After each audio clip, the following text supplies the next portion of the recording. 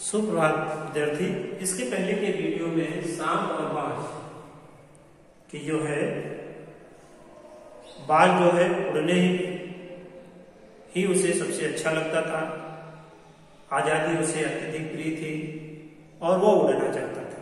उसकी इस उत्सुकता को देखकर सांप ने उसे उत्साहित किया और बाज जो है अपने शरीर को घसीटता हुआ पर्वत की शिखर पर चोटी के ऊपर ले गया और लंबी सांस लेकर के अपने पंखों को फैलाकर हवा में कूद पड़ा।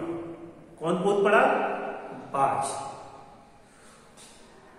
उसके शक्तिहीन पंख उसके शरीर का बोझ संभाल न सके, परंतु उसके पंख जो है वो कमज़ोर हो गए थे। उसके शरीर के बोझ को वो संभाल न सके। वह धार नदी की धारा में या नदी की धारा की गोद में जा गया और एक लहर में उसके शरीर को झाग से ढक लिया और सागर की ओर ले चली। और बाद जो है उड़ने की कोशिश में नदी और सागर की धारा की गोद में हो बाज की इस साहस को देखकर, उड़ने की इस उत्सुकता को देखकर सांप ने भी जहा वह उड़े। और सांप भी वह चट्टान के ऊपर गया, अपने शरीर को सिकोड़ा और आगे रेंगकर अपने आकाश की शून्यता में छोड़ दिया। आगे जाकर रेंगता हुआ अपने शरीर को शून्यता में छोड़ दिया। धूप के क्षण पर भर के लिए शरीर का शरीर बिजली की लकीर के समान चमका। किंतु उसके जीवन भर रेंगना सीखा था। भला वह उड़ कैसे सकता था? वह एक चट्टान पे आकर गिरा। ईश्वर की कृपा थी कि वह सांप बच गया। नहीं तो मरने में क्या कसर बाकी सांप हंसने लगा और कहने लगा, यह पक्षी कितने मूर्ख होते हैं कि धरती के सुख में अनजान रहकर आकाश की ऊंचाइयों को पाना चाहते हैं। अब मैं जान लिया कि आकाश में कुछ नहीं रखा है। केवल ढेर सारी रोशनी के सिवा वहाँ कुछ भी नहीं है। शरीर को संभालने के लिए कोई स्थान नहीं है, कोई सहारा नहीं है। फिर वे पक्षी किस बलबूते पर इतनी डींगे हाँकते हैं कि आकाश में उड़ना अच्छी बात किस लिए धरती के प्राणियों को इतना छोटा समझते हैं? अब तो मैं कभी भी धोखा नहीं खाऊँगा। मैंने आकाश को देख लिया, खूब देख लिया। बास तो बड़ी बड़ी बातें बनाता था, आकाश के गुण गाता था। थकता नहीं था, आकाश के गुण गाते थकता नहीं था। उसी के बातों में आकर मैं आकाश में कूदा था। ईश्वर का भला करे कि मैं मरते मरते बच गया। अब तो मेरी बात में समझ समझ गया और यह पक्की हो गई कि अपनी खोखल से बड़ा सुख कहीं भी नहीं है। मैं अपने खोखल में, अपनी गुफा में सबसे ज़्यादा सुरक्षित हूँ। धरती पर लेन लेता हूँ। मेरे लिए सब कुछ है, मुझे आकाश की स्वतंत्रता से क्या लेना है? आकाश की आज़ादी से क्या लेना देना? ना वहाँ छत है, ना दीवारें हैं, ना रेंगने के लिए ज़मीन है। मेरा तो सिर चकरा गया, दिल काम काम जाता है, अपने प्राणों को खतरे में डालना कहाँ की चतुराई है?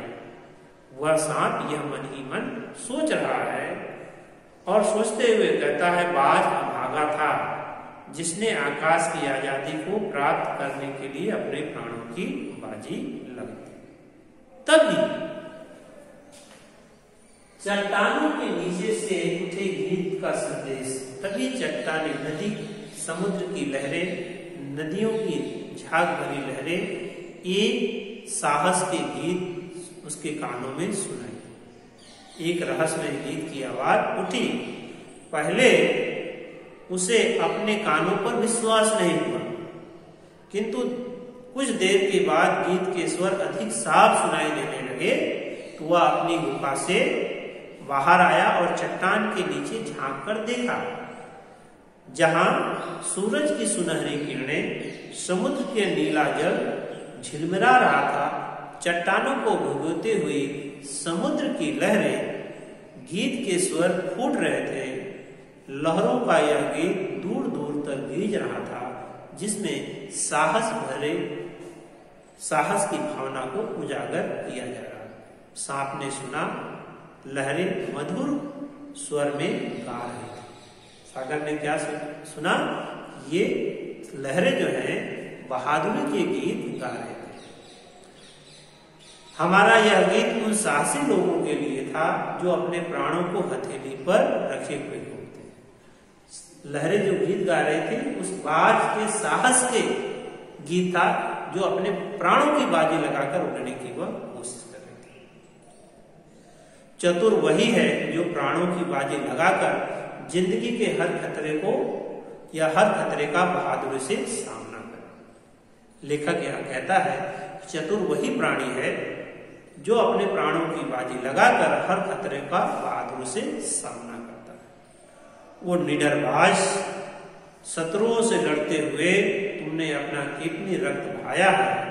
पर वह समय दूर नहीं, जब तुम्हारे खून की एक एक बूंद ज़िंदगी की, ज़िंदगी के अंधेरे में प्रकाश फैलाएगी।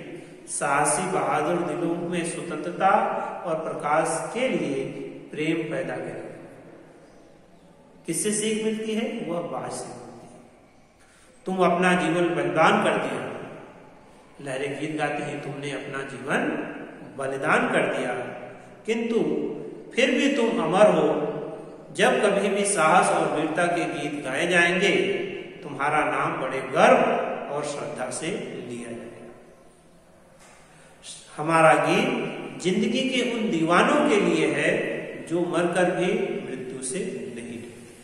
यही इस कहानी का सीख है। लेखक यहाँ सीख देना चाहता है कि जो व्यक्ति